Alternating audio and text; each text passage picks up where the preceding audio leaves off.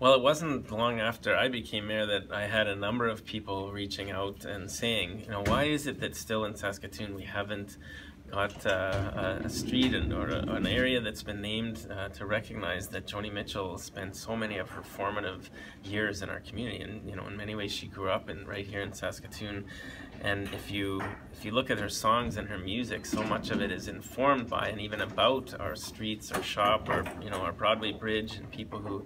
who she knew in our community. And so the community voice started to come forward, and then uh, a group who uh, was in touch with Joni herself came forward and said that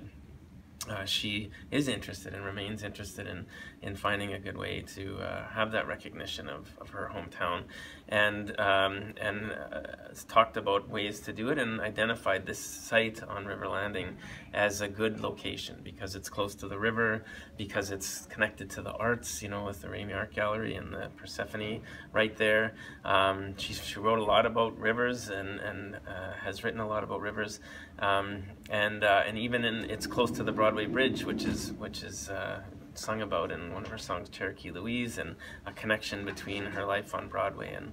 and the downtown. So yeah, it seemed like a good fit. Yeah, there's local residents, uh, some who even have known and grown up knew Joni uh, when she lived here and have stayed in touch who who um, have identified this and brought this forward. So it's very much people in Saskatoon, but who have uh, have been in contact with Joni as well. And that's one reason why it's coming to council directly is, is that it's something that does, uh, it's something that she supports and feels comfortable as the right type of, of recognition. In the same way,